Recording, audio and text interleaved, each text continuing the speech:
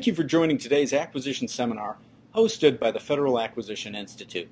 Today's seminar, entitled Equal Employment Opportunity Responsibilities of Federal Procurement Officers, an update, presents a look at the recent changes to the equal employment opportunity requirements established by the Office of Federal Contract Compliance Programs in the U.S. Department of Labor. As an acquisition professional, there are so many details you need to give your attention to in a procurement action.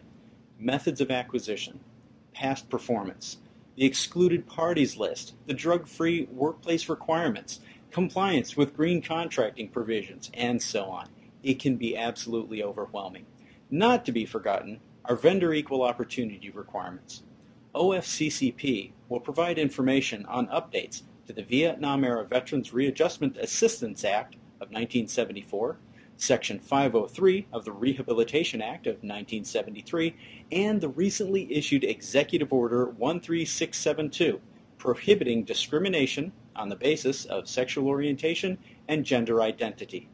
In addition, our presenters will discuss the impact of these changes on federal government contracts and the Equal Opportunity Clause, the pre-award clearance process, the Federal Acquisition Regulation, the contractor's filing of the EEO-1 report, and the Equal Employment Opportunity is the Law poster.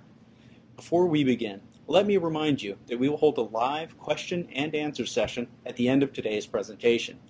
If you have a question about anything you may hear from our presenters, we encourage you to submit it at any time using the survey link to the right of the video screen. We will collect and review your questions during the presentation, take a short break, and then return to answer as many as we can. Also, we would love to get your suggestions on future acquisition seminar topics. So let's join Brenda Williams Stewart of the Office of Federal Contract Compliance Programs, Department of Labor, who will be our guide to EEO responsibilities of federal procurement officers. Welcome, everyone. My name is Brenda Williams Stewart, and I'm with the Office of Federal Contract Compliance Programs better known as OFCCP. I'm your moderator for today's presentation on the responsibilities of federal procurement officers. I want to thank FAI for working with OFCCP in this joint effort to provide you with important information. I have with me today several OFCCP officials who are going to review with you the equal employment opportunity requirements associated with federal contracting and the related obligations of procurement and contracting officers. During today's presentation, we'll also update you on recent changes to our program. We welcome your questions throughout the presentation, so please send them in and we'll address the answers at the end of our presentation.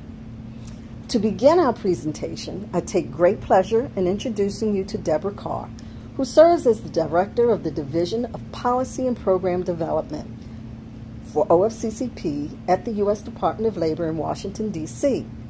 She leads policy's two branches, branch of regulatory, legislative, and policy development, and the branch of training, education, and program development.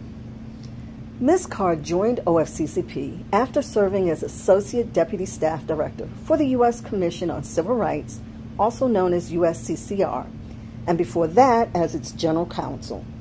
While at USCCR, Ms. Carr wrote several vital reports with important policy ramifications, including an evaluation of the Native American healthcare system and the need to reauthorize the Indian Healthcare Improvement Act, an assessment of the effectiveness of the No Child Left Behind Act, and a review of the usefulness of Executive Order 12898 and Title VII as tools for achieving environmental justice. Before joining USCCR, Ms. Carr distinguished herself as a civil rights lawyer at the Department of Justice by handling some of this country's most difficult and heinous violations of federal criminal civil rights statutes. Ms. Carr headed a White House office and represented the U.S. at the United Nations on issues related to racism and xenophobia. She also participated in the preparation of the government's report to the UN Committee on the elimination of racial discrimination. I'll now turn the presentation over to Debra Carr for opening remarks. Hi, I'm Debra Carr, the Director of Policy for the Department of Labor's Office of Federal Contract Compliance Programs. I want to extend my thanks to FAI for inviting me and my colleagues to represent our director, Pat Shiu, during this training event. As some of you know, the Department of Labor has been actively involved in new rulemaking over the last four years. Some of those new regulations will have direct impact on how federal contracting officers conduct their day to day business. The value of having OFCCP participate in this training opportunity is that we hope to inform you of your new obligations created by these recent rulemakings. For example, we have recently updated regulations governing the employment of people with disabilities, the recruitment and employment of veterans, especially disabled veterans. And we recently completed a final rule protecting the employment rights of LGBT individuals, as we uh, call it at the Office of Federal Contract Compliance Programs. We currently have pending an update to regulations governing sex discrimination as well. As you will hear during the course of this presentation, many of these new rules require contractors to incorporate into their subcontracts specific language governing equal opportunity. In addition, contracting officers with federal agencies will also be required to include specific language in their prime contracts with companies doing business with the federal government. We at OFCCP hope that you will find the information that you will hear throughout this training opportunity useful. What we found as we did rulemaking over the last four years is that at least two of our new regulations have the potential to increase the employment opportunities of more than 600,000 individuals. We can only get to that number by working in partnership with you. So please, listen to the information and find a way that we can work together to ensure that all qualified Americans have equal opportunity to significant employment opportunities and that we can achieve the goal of full employment for most qualified Americans. So, the expectation is that by working together, you can help us achieve our goal of strengthening America's middle class by providing qualified workers a real opportunity at good paying jobs. So please, listen to the important information, enjoy this opportunity, and we look forward to working with you in the future.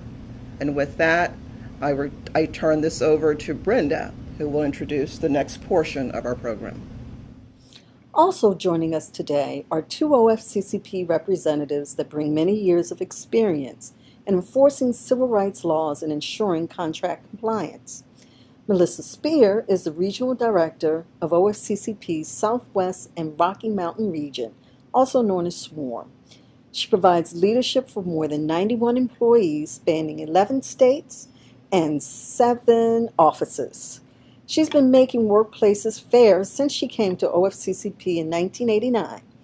She began her career as a compliance officer in our Little Rock area office and has worked throughout the SWARM region as a liaison officer, District Director in Dallas, Director of Regional Operations, and Deputy Regional Director.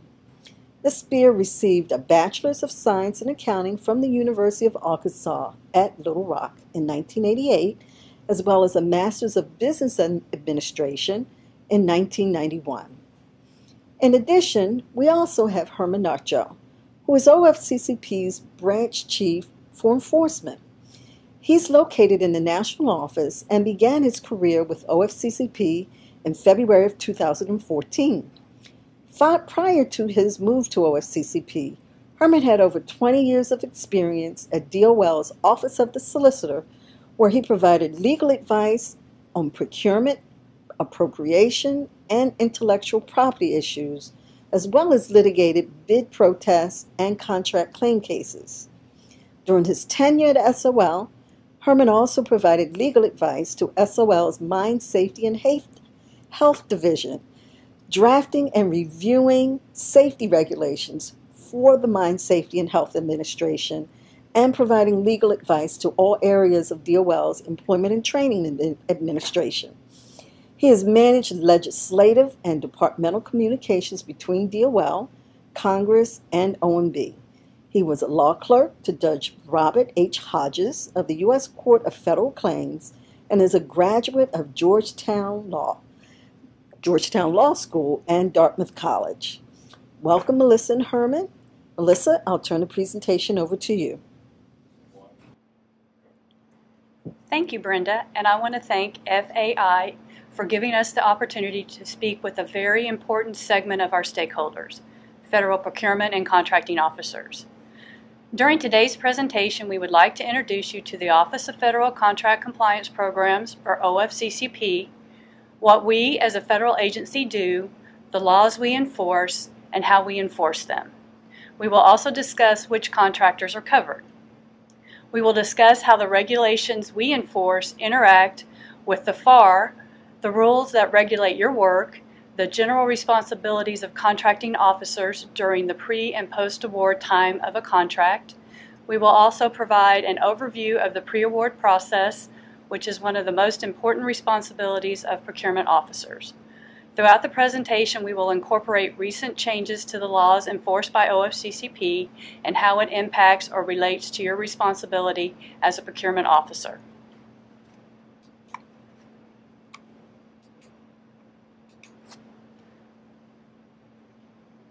OFCCP is an agency within the U.S. Department of Labor that enforces laws prohibiting employment discrimination of federal contractors and subcontractors. Federal contractors and subcontractors are those employers that are doing business with the federal government. This includes all types of businesses construction, manufacturers, banks, leasing companies, and so on. The laws enforced by OFCCP prohibit covered federal contractors from discriminating in employment on the basis of race, color, religion, sex, sexual orientation, gender identity, national origin, disability, or the status as a protected vet, and requires those contractors to engage in affirmative action.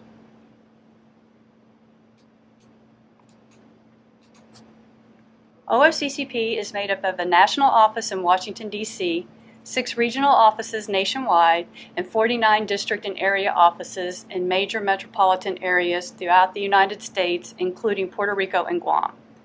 As a federal procurement officer, your primary point of contact will be with our regional offices located in Dallas, San Francisco, Chicago, New York, Philadelphia, and Atlanta. Generally speaking, procurement officers will contact the regional offices through the pre-award monitor. We will discuss that process later in the presentation. OFCCP enforces civil rights laws that protect applicants and employees of federal contractors, subcontractors, and federally assisted construction contractors and subcontractors. These laws are Executive Order 11246, which prohibits the discrimination on the basis of race, color, religion, sexual orientation, gender identity, and national origin. Section 503 of the Rehabilitation Act of 1973 prohibits discrimination on the basis of disability, and the Vietnam Era Veterans Readjustment Assistance Act of 1974, or VEVRAA, prohibits discrimination on the basis of a status as a protected veteran. I want to take a moment to highlight some of the recent changes in each of these laws.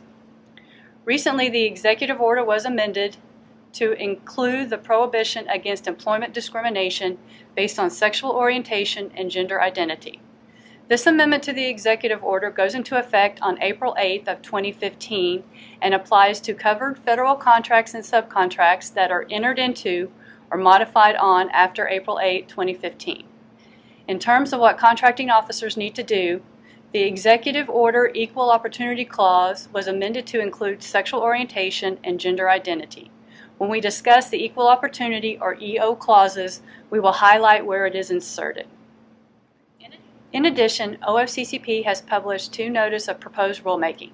The first will prohibit covered contractors from disciplining employees for discussing and disclosing their pay, and the second will require covered contractors to provide an annual report on compensation paid to employees. The prohibition pay secrecy policies also impact the EEO clause by adding a new paragraph to the clause. When the rules are finalized, the EO clause will be revised in covered contracts issued on or after the effective date of those rules. Another significant change we made was in March of last year. We published two new regulations implementing the requirements of Section 503 of the Rehabilitation Act and VEVRAA. This was the first major change for both of these rules since 1970.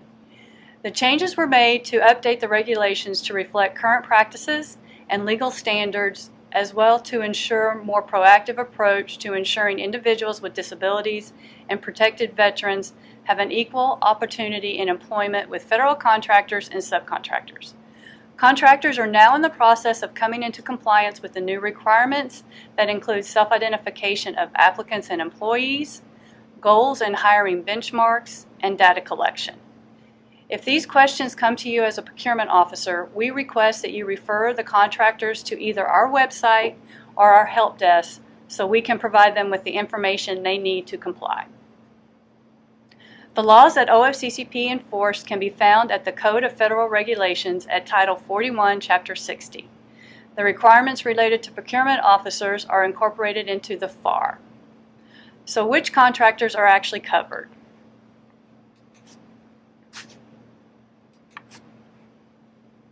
There are specific thresholds associated with OFCCP's jurisdiction. For the executive order, it is a contract is covered if it's in excess of $10,000. In addition, non-construction or supply and service contractors with a contract of $50,000 or more and who have 50 or more employees must also develop and maintain a written affirmative action programs. Contractors must comply with specific affirmative action requirements, including outreach and recruitment efforts, self monitoring of their employment practices, the identification and correction of discriminatory practices, and the identification and removal of any barriers to equal employment opportunity. The Rehabilitation Act applies to contracts or subcontracts in excess of $15,000. You may be familiar with the previous threshold of $10,000. This threshold is affected by an adjustment inflation rate and was raised to the $15,000. In addition, contractors with contracts of $50,000 or more and who have 50 or more employees must also develop and maintain written affirmative action programs. Unlike the executive order, this requirement for written affirmative action programs applies to both non construction and construction contractors. VEVRAA applies to contractors of $100,000 or more. Contractors with 50 or more employees are required to develop and maintain a written affirmative action programs. Like Section 503, this obligation applies to both construction and non-construction contractors. The protections of VEVRAA apply to protected veterans, which are defined as disabled veterans, determined as those who will receive disability compensation from the VA or would be eligible but not for retired military pay.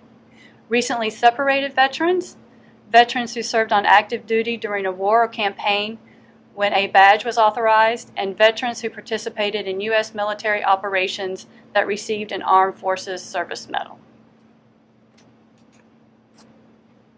To ensure contractors comply with these laws, OFCCP conducts its civil rights enforcement responsibilities in a number of ways. OFCCP conducts compliance evaluations of contractors and subcontractors, even where no discrimination complaint has been filed. We take a hard look at the company's employment practices and policies, including policies related to hiring, testing, promotions, compensations, and terminations to ensure that discrimination has not occurred. To do that, we review the contractor's AAP and other records. We may also decide to do an on site to the contractor's facility and interview managers and employees, among other things. OFCCP investigates complaints of discrimination filed by individuals or groups. It deals exclusively with employers that are federal contractors. Only the laws that OFCCP enforce require affirmative action by covered contractors to ensure that all are provided with equal employment opportunity. We work closely with the Equal Employment Opportunity Commission, or EEOC, to ensure that there is no duplication of efforts by our respective agencies and to ensure that any misfiled complaints are proper, properly redirected to the correct agency. In addition to conducting compliance evaluations and investigating complaints, OFCCP provides free compliance assistance to contractors to assist them in complying with the laws OFCCP enforces, including workshops on different topics such as guidance for new contractors, how to develop an AAP, and a course on any new regulations. OFCCP also educates community based organizations and members of the public to facilitate an understanding of and compliance with the laws we enforce. This might include events which organizations are invited to attend and to assist in building collaborations between contractors and the organizations serving people with disabilities. Now I'd like to turn the presentation over to Herman. Thank you. Thank you. As we explained earlier, OFCCP's regulations are codified in the Code of Federal Regulations at Title 41, Chapter 60. In addition, the requirements related to procurement officers are incorporated in the FAR, which is the set of regulations governing all acquisitions and contracting procedures in the federal government. As many of you may be aware, the FAR is designed to provide a common set of regulations and procedures for acquisitions to be used throughout the federal government. It contains an overall structure and broad procedures for the government to use when purchasing goods and services. The equal employment opportunity requirements derived from Executive Order 11246 are found in the FAR at 22.8. These regulations address the requirements for procurement officers as it relates to incorporating equal employment opportunity into contracts and the contract process. It includes the affirmative action requirements for construction and non-construction or supply and service contractors found at 22.804 and the contractor procedures found at FAR 22.805 including pre-award clearances, which we will be discussing. In addition, the FAR includes the Section 503 and VEVRAA procedures for contracting officers. These are incorporated into the FAR at subparts 22.13 and 22.14. Subpart 22.13, this section covers a range of definitions and descriptions of veterans and discusses policies and procedures in hiring protected veterans. It also describes affirmative action requirements. Subpart 22.14, this section provides detail on employment of workers with disabilities, including policies and procedures for hiring workers with disabilities. So let's review the responsibilities and requirements. We'll begin by breaking down the steps. Looking at the requirements and the process, we've identified three significant stages with equally significant responsibilities. These are the solicitation or request for proposals timeframes, pre-award and post-award of the contract. We'll review these stages and the specific actions or obligations of federal procurement and contracting officers in the next several slides. When a contracting officer is putting together the request for proposal or invitation for bids for a contract, certain provisions must be included. The purpose is to give notice to all prospective contractors that the contract is a covered contract and it includes provisions related to equal employment opportunity and affirmative action. The provisions include ensuring that facilities are not segregated, whether or not the prospective contractor has ever been a federal contractor, and whether the contractor has provided required reports, specifically the EEO1 report and the annual report of veteran hiring.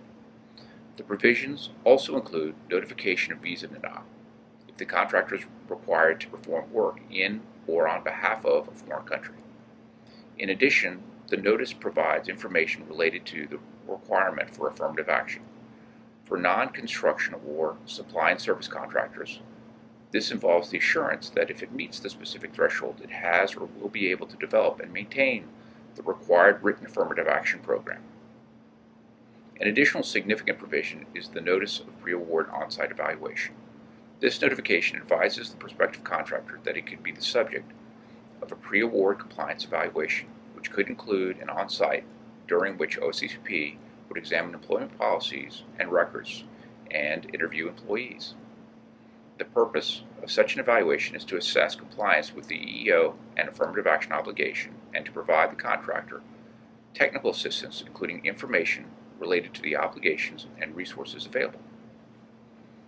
For construction contractors, this is the notice of the specific affirmative action provisions required of all federal construction contractors. This notice includes the goals for the geographic area in which the project is located. The affirmative action compliance provision ensures that contractors are aware of the obligations of non-discrimination, the outreach, recruiting, and training and record keeping obligations, as well as the goals for, for the project. It also includes the notification that when awarded, the contractor is required to notify OFCCP of subcontracts in excess of $10,000. So where would you find the goals for construction projects? Construction goals are posted on OFCCP's website. As a reminder, the construction goals are to be incorporated into the contract and subcontract. These are utilization goals that are focused on the construction trades. The goal for women is 6.9% of the hours worked, and the goal for minorities varies by geographical area. If you have questions related to the appropriate goal for a particular area, please contact the regional office where the work is being performed.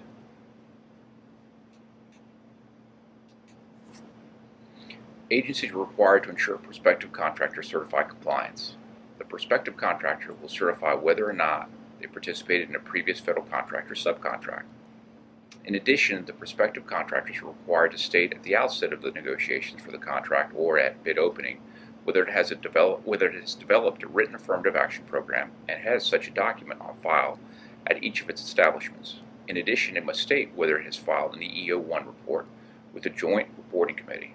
The attestations and certifications found in the System for Award Management, also known as SAM, will show you if the contractor has certified the development of an AAP, had previous contracts, and filed an EEO-1 report to certify submission of the VETS 4212 report, formerly the VETS 100 or VETS 100A, a contracting officer must query the Department of Labor VETS 100 database. So you can see on the screen is the SAM information.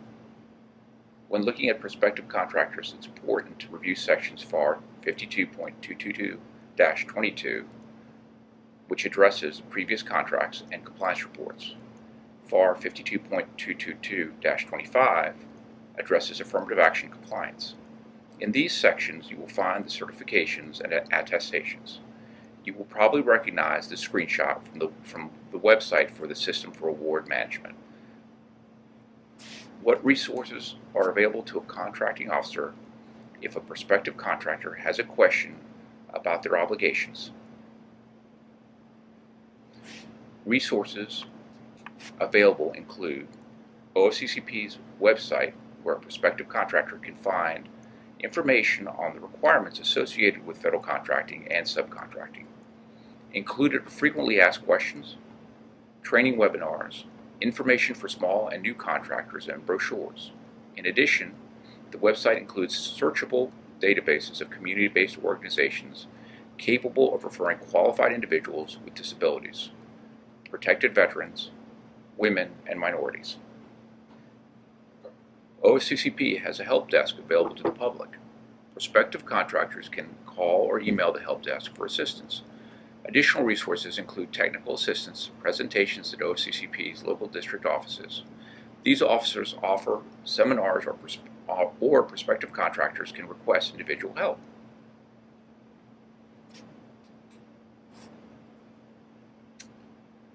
Contracting officers must ensure that the contractor or subcontractor receiving the award is eligible. In fact, the regulations are specific that no contract or modification involving a new acquisition shall be entered into, and no subcontract shall be approved by a contracting officer with a person who has been found ineligible by, ineligible by OCCP's director for reasons of noncompliance with the requirements of Executive Order Section 503 and VEVRAA. Eligibility can be determined through, through SAM. This list includes businesses that have been debarred from receiving federal monies for not complying with the requirements and obligations associated with federal contracting. In addition, contracting officers must make certain that the manner in which the contract is written does not circumvent the requirements of the Executive Order, Section 503, and VEVRAA. Prior to awarding a contract of $10 million or more, agencies are required to get EEO clearance from OFCCP. This clearance is now required by all three of the laws OFCCP enforces. The requirement includes contracts for indefinite quantities and modifications of existing contracts for a new effort that would constitute a contract award. Contracting officers are also required to request pre-award clearances for first-tiered subcontractors of $10 million or more. Again, the request for pre-award clearance is required under all three of the laws enforced by OFCCP. Before we discuss the process for requesting pre-award clearances, we'll review the exception. The one exception to the request for a pre-award clearance is if the specific proposed contractor is listed in OFCCP's National Pre-Award Registry found on our website.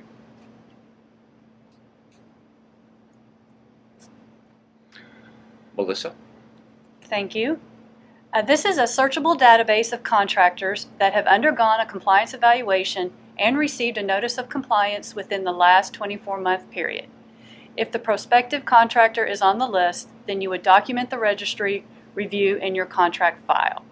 When determining whether or not the prospective contractor is cleared, remember the clearance is for a specific contractor's facility. If the contractor's facility you are looking for is not found on the registry, then you will need to contact the OFCCP pre-award monitor in the regional office where the contract will be performed. If you don't know who to contact, you can call the OFCCP national office. What about option years contracts? If the initial award is less than $10 million, but the award's option year could potentially meet the $10 million threshold, is the pre-award clearance required? Yes. Consider the total value of the contract, including any options, to determine the $10 million threshold. Contractors are encouraged to submit pre-award clearances at least 30 days before the proposed award date. The request for EEO pre-award clearances can be sent by email to the regional office where the contract will be performed. The email addresses for each region are listed on our website. In the request, you are required to provide the following information. Name, address, point of contact, and telephone number of the proposed contractor. Name, address, point of contact, and telephone number of each proposed subcontractor with subcontracts estimated at $10 million or more. The anticipated date of the award, information regarding whether the contract or subcontractors have previously held any government contracts or subcontracts, the place or places of performance, the estimated dollar amount of the contract, and subcontract if known. OFCCP has 15 days after receiving the clearance request to inform the awarding agency of its intent to conduct a pre-award compliance evaluation. If the awarding agency is not informed, it may proceed with the award. If OFCCP states it will perform an evaluation, it is allowed additional 20 days to do so. Which regional office should I send the pre-award clearance request to? The answer to that question is it depends. If the place of performance is known and it is a single place of performance, the pre-award clearance request should be sent to the regional office that covers the place of performance. If there are multiple places of performance crossing regions, the pre-award clearance request should go to the regional office where the contractor's corporate headquarters is located. If you have additional questions about specific pre-award request, we encourage you to follow up with the regional office where you made the request.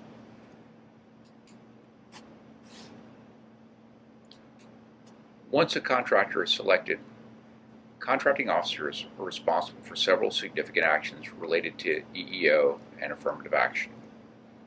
These are incorporating the equal opportunity clauses into the contracts, providing the contractor with access to the appropriate notices for employees, referring inquiries and complaints to OFCCP, and notifying OFCCP of construction contract awards.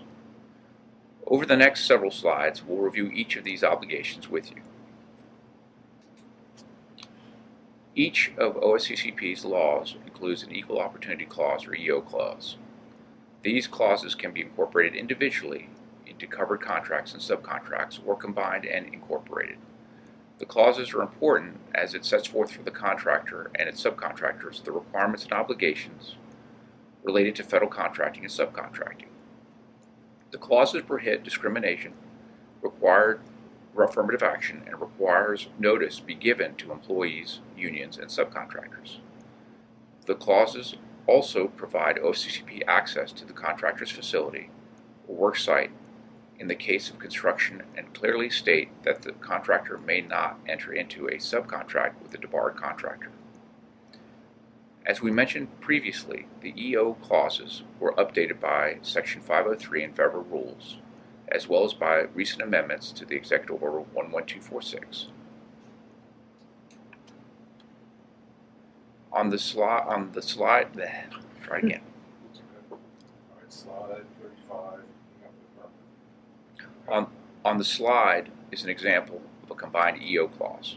The revised Section 503 and VEVRAA regulations require more information specifying that the contractor is an equal opportunity employer of protected veterans and individuals with disabilities. It's a clear message that lets contractors, subcontractors, vendors, and suppliers know that they may now have requirements if they meet OFCCP thresholds. In addition, this clause includes the most recent amendment to the executive order, which added sexual orientation and gender identity to the protected bases. This example can be found on OFCCP's website. Check the FAQ sections, frequently asked questions. The EO clauses indicate that the contracting officer will provide a contractor with a notice for contractors to post. The notice is the EEO is the law poster. This poster can be found on OFCCP's website or on EEOC's website in a printable format. A supplement to the poster is also available. The poster notifies employees and applicants that the employer is a federal contractor and advises them of their rights. Another obligation of contracting offices is the referral of complaints.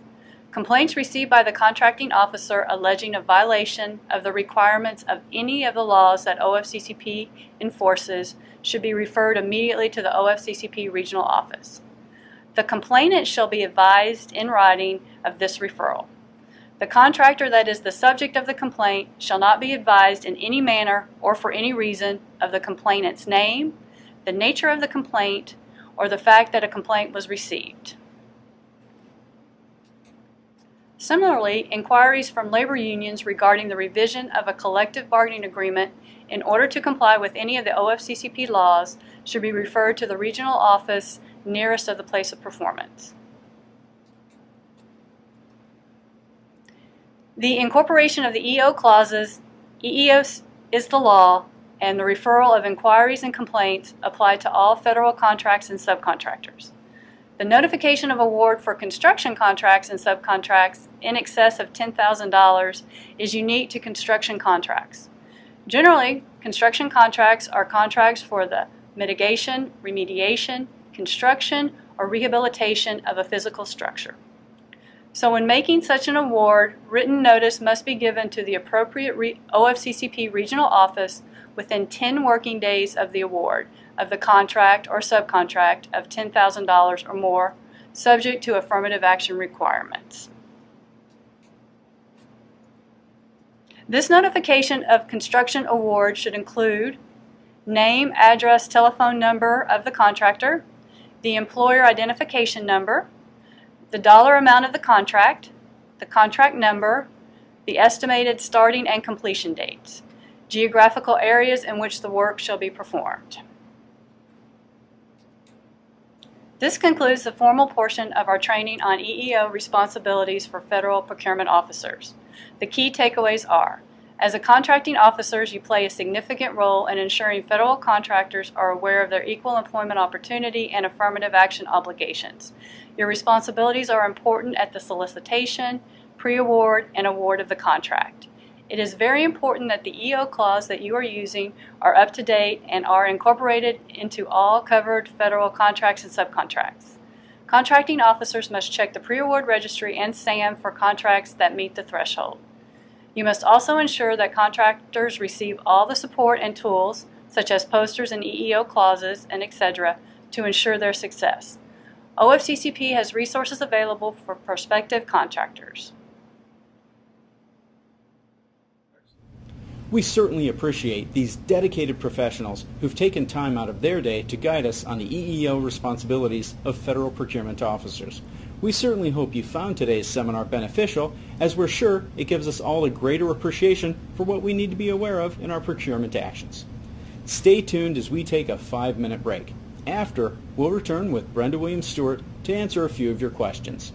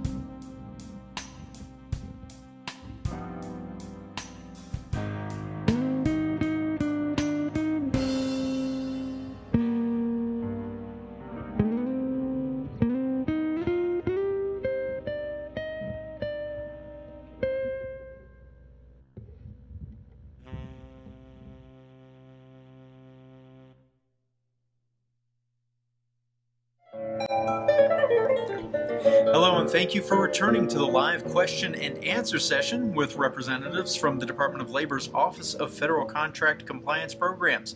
We have a number of fantastic questions in search of answers, so let's begin. Uh, Melissa, do you want to take this one? Yeah, I'll take the first question. If the contractor is new and has never developed an AAP, should we refer them to a local OFCCP office? There are several places that you can refer a new uh, contractor. You can refer them to the OFCCP website where there are FAQs, training webinars, and information for small and new contractors. You can also refer them to a local OFCCP office for further compliance assistance. Okay, another question. Just to clarify, for construction contractors, what is the threshold dollar amount contracting officers should look for when giving notice to OFCCP? And the answer is $10,000. That's for construction contractors. The next question, and this is continuing with construction contractors. What does a construction contractor do when the work is taking place at different locations? Must they have different minority goals for each location? So the, the answer is the minority goals are dependent upon a geographical location. So yes, they vary by geographical location. The goal for females for construction contractors is 6.9%.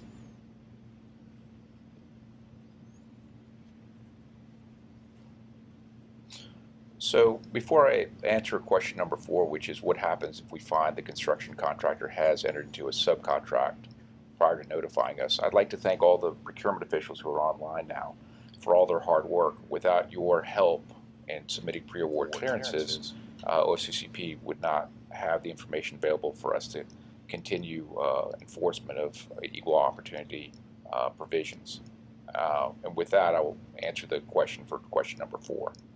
Um, so the question assumes that the prime contractor would already have in place a subcontract. I think what the question should say is if the construction contractor is about ready to award a subcontract, because a lot of the times uh, a contractor will not award a subcontract until it's contingent on the actual award, the actual signing by the contracting officer of the document making award to the prime contractor. When that happens, then there are obligations on the part of the of the contractor to notify OFCCP of, or I should say, notify the contracting officer of who all the subs are. In the in the context of a, of a construction contract, uh, we may already have that this information based on if it's construction. I presume it would be uh, the data that would that the contracting officer would have would be the invitation for bid documents, which would identify all the subcontractors. Um, if that's the case, then OFCCP would then reach out and do an analysis of both the, the construction contractors and the, the subcontractors. Um, do you have any additional comments, Melissa, on that point? No. All right, let's go to the next question. Go ahead. Okay, I'll take this one. If a contracting officer does not, for various reasons, meet the 30 day window, can we request an expedited pre award clearance? We really don't have any processes for expedited pre award clearances, but um, usually in practice we can clear them pretty quickly within a couple of days to a week. Keep in mind though, if OFCCP decides to do a compliance review, we have an additional 20 days to do that. So that might play into the 30 day window. Next question. Yeah, next question. Uh, can we award the contract on the 16th day if we hear nothing from OFCCP?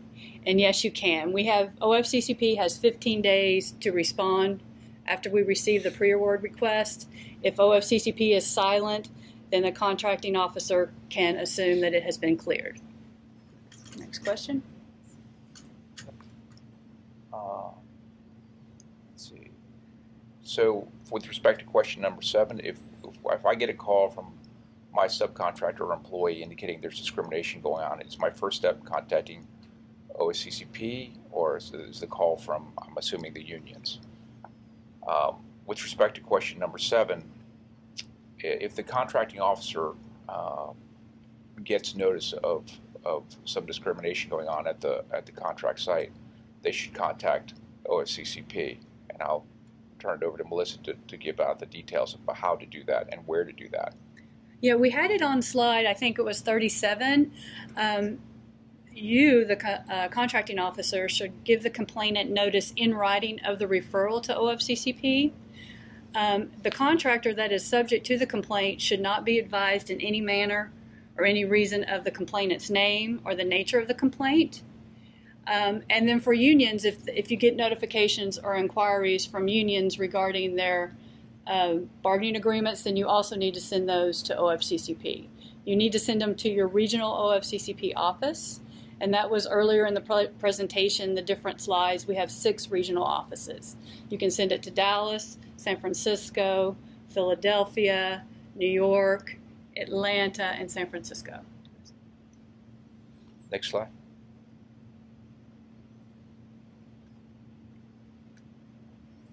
Uh, so I think this one's yours, Melissa. What is the information submitted for the notification of construction award does not give the location where work sites will be performed since they are working in multiple sites. We also have another question on this, and it's called the place of performance. So when you're looking for notification or you're you're doing a pre-award request, either one, you need to send it to the regional office where the place of performance is located. If there are multiple places of performance, that's the one where you can send it to the where the corporate headquarters is located. If you have multiple places of performance, uh, don't be surprised if you get multiple regions responding to your pre-award clearance. So if you have one that's in the Chicago area and one in the Dallas area, both regional offices might respond to that, even though you sent it just to one region. Uh, next slide. Uh, question number nine, can you give me some more information about changes to the VETS 100 database? So starting April, I'm sorry, August 1st of this year, the VETS 100 form will be replaced by the VETS 4212 form. If you go to www.dol.gov and look under the agency of VETS, you'll find the information about how to fill out that form. It's going to be uh, slightly different from what you're accustomed to but the information is noted there. Next slide. Uh, this is the one I kind of just answered regarding slide 30. Can you give us some scenarios about which regional office should I send the pre-award clearance to? So the pre-award clearance goes to the region where the place of performance is. If you have multiple places of performance, here again you can send it to where the corporate headquarters is located for the contractor. Um, and then again, you might get multiple responses from different regions that received your pre-award request.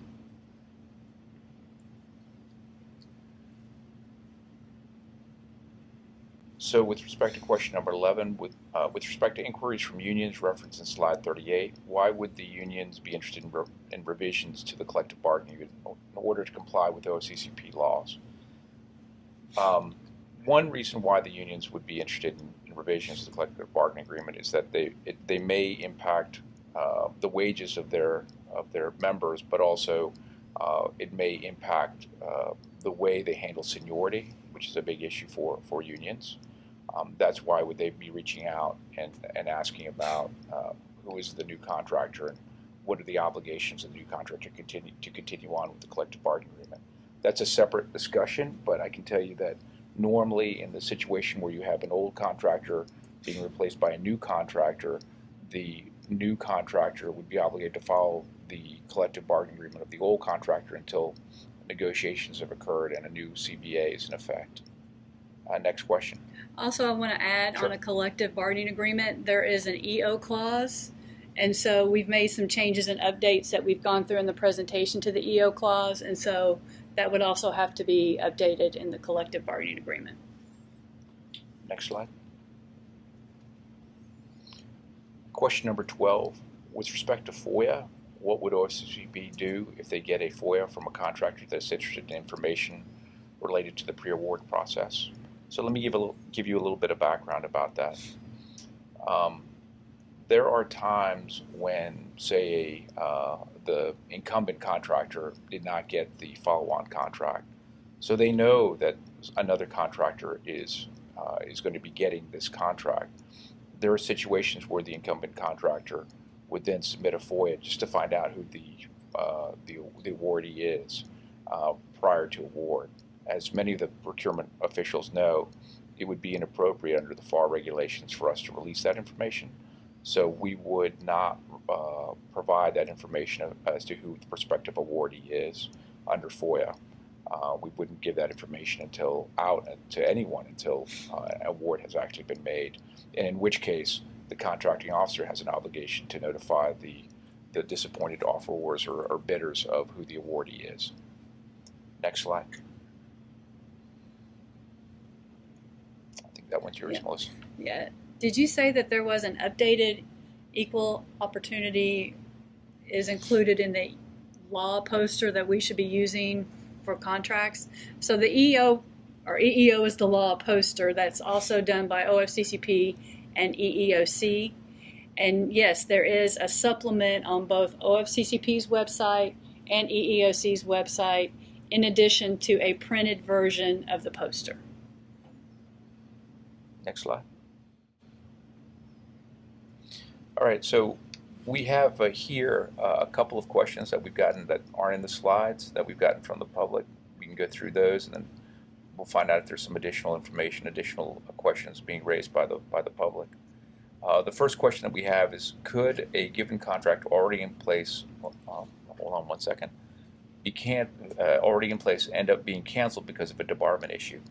So I think in that particular question, um, we would get a pre-award clearance of a contract, and we would be, we would when us review, and when when we're reviewing that particular question, we would see that, for example, the uh, awardee is, is debarred. So we would refer that information back to the contracting officer. I'm sure that that contractor would al- also do an independent analysis of that, but that would prohibit uh, the award of the contract. Uh, both um, the procurement officials and OFCCP rely on the SAM database for, for us to know whether a particular contractor is debarred. Uh, for those uh, listening in today, debarment not only impacts uh, contractors from the perspective of the FAR, but it also impacts OFCCP because we have separate authority that allows us to debar uh, contractors, and we do have a few debarments in place now. The next question that we have are what are the consequences for not submitting a pre-award clearance or not waiting for a pre-award clearance? Um, well, there are a couple of different scenarios. The, the one that comes to mind right off the top of my head is the situation where there's been no pre-award clearance submitted, an award is made by a contracting officer. Um, there, there can be a situation where, say, for example, the incumbent contractor doesn't get the follow-on contract. In that situation, um, I've, I've known uh, from previous experience that it's not uncommon for the inc- incumbent contractor to file a bid protest. What that means is that the incumbent contractor would sue uh, the government either at the Government Accountability Office or at the Court of Federal Claims alleging improprieties. Uh, a strong legal argument could be made that not following the pre-award clearance would make the government liable. And by that I mean it would make the agency liable to uh, attorney's fees and costs if it's a small business. Uh, and it would also preclude the award of the contract. The, either the Government Accountability Office or the judge at the Court of Federal Claims would, uh, would direct um, the, uh, the uh, government agency to uh, review the award and do an analysis and do another award based on that impropriety. Are there any other questions? Take a look here. No. All right. Well, thank you so much. Don't forget, the Federal Acquisition Institute has recorded today's seminar and a video. Along with the presentation material you saw today, it will be posted in the video library on FAI.gov. You should be able to access these items in a week or so. On behalf of the Federal Acquisition Institute, thank you once again for joining us.